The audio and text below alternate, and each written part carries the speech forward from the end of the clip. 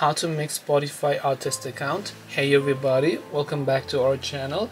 In today's video I'm going to guide you through the steps on how you can make Spotify artist account so make sure to watch the video till the end now making a Spotify artist account is actually quite simple.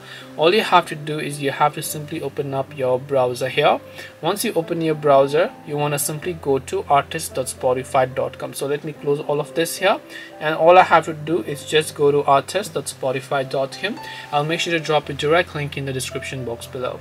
Then after I have done that I just need to tap on the three lines option from the top right then go to this option here that says get access. And once you go to the get access tab here you can select artist or manager. And once you select artist or manager option you can simply select claim an artist profile and then tap the continue option. Select yes this is the right spotify account.